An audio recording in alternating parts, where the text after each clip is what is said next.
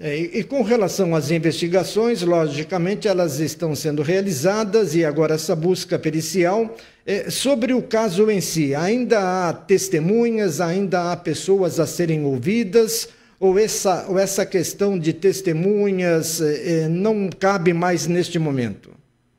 Fernando, é, eu gostaria aqui de passar a minha percepção como delegado de polícia, porque obviamente é, como é um inquérito policial, ele passa depois pelo crivo do Ministério Público e do Poder Judiciário para uma avaliação. Estou, então, estou falando como delegado de polícia do caso, uma percepção pessoal. A minha percepção é de que, com referência à repercussão criminal, criminal, nós não temos mais nenhuma margem para responsabilizações criminais.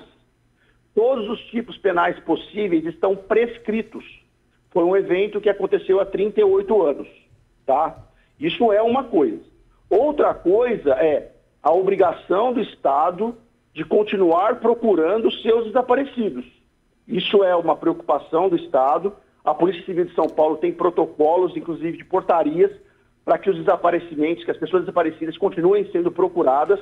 Então, o foco da investigação nesse momento é tentativa de localização de Marco Aurélio, localização de Marco Aurélio. E queria também aproveitar a boa audiência da CBN para dizer o seguinte: esta diligência é apenas uma das linhas investigativas, uma das linhas, qual seja, ele possa ter morrido no Pico dos Marins. Outras linhas estão abertas e precisam estar abertas.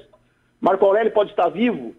Linha aberta. Novidades ou dúvidas ou informações informa a delegacia de piquete que todas as questões serão é, procuradas e checadas.